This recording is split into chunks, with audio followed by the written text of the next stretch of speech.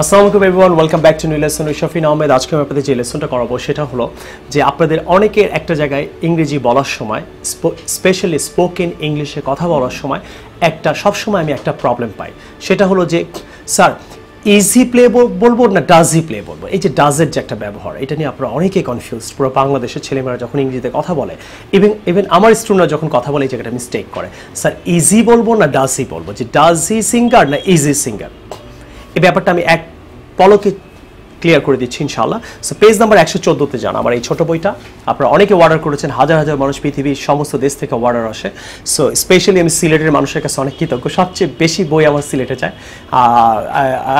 I am really thankful সিলেটের সবার কাছে এবং এবং পুরো বাংলাদেশের মানুষের কাছে যে এত এত সাবস্ক্রাইব করার জন্য।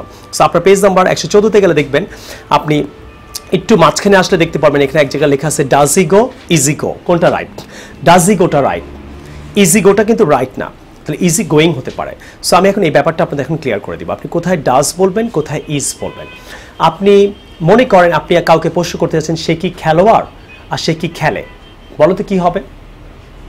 তিন সেকেন্ড সময় দিচ্ছি। ওয়ান টু থ্রি একটা হবে ইজি আ প্লেয়ার আর একটা হবে does he play is he a player আর একটা ডাজি প্লে এখন প্রশ্ন হলো, যারা ইংরেজিতে উইক বেসিক তাদের জন্য আমি লেসনটা বানাচ্ছি যে স্যার ইজ কেন হলো আর ডাস কেন হলো? ভেরি গুড কোয়েশ্চেন আপনি হয়তো মনে মনে এই প্রশ্নটাই করেছেন।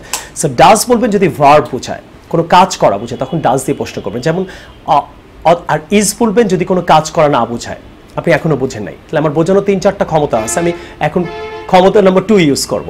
মনে করেন একদম পড়ালেখা করেন নাই, তাদেরকে আমি বুঝাবো এখন। একদম, কোনোদিন স্কুলে যান নাই কলেজে যান নাই, এমনও অনেক ছেলে মেয়ে থেকে, লজ্জা পায়, এসে বলতে ভয় পায়।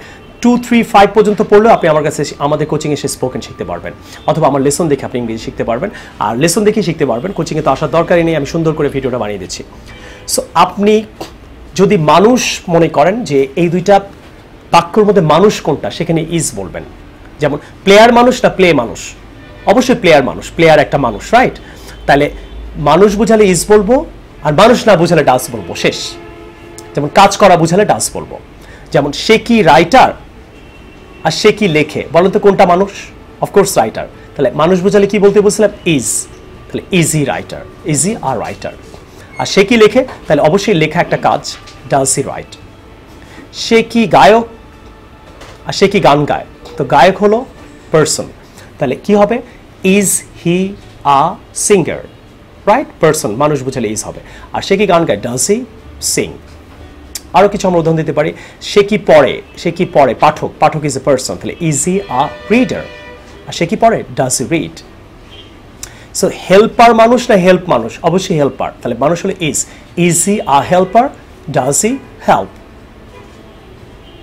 is he a teacher does he teach is he a worker does he work so আমি মনে হয় আপনার আজীবনের জন্য আপনার ব্লাডে মিশে গেছে, এই লেসনটা যে ইস কোথায় হবে, ডাস কোথায় হবে।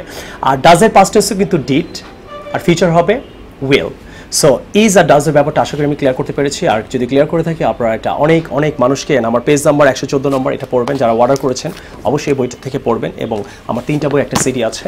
আপনি এটা এখনই অনলাইনে অর্ডার করতে পারেন। অর্ডার করে আপনি ঘরে বসে হাজার হাজার ভিডিও আমি বানাবো আপনাদের জন্য। It's a free video so আপনি হয়তো অনেক কোচিংয়ে গিয়ে স্পোকেন আইএলস কোর্স করছেন।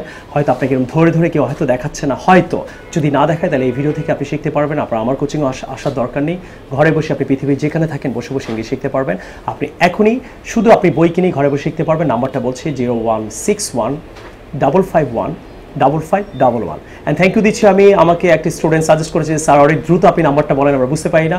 সো এরকম কারেক্ট অনেকে কারেক্ট করতে গেলে অনেকে মাইন্ড করে, আমি কিন্তু মাইন্ড করে নেই, এই জন্য আপনাকে আমি ধন্যবাদ দিচ্ছি। আপনার নাম, নামটা আমার মনে নেই। So thank you very much আমাকে কারেক্ট করার জন্য। I will see with new lessons another time take care আল্লাহ হাফিজ, আসসালামু আলাইকুম।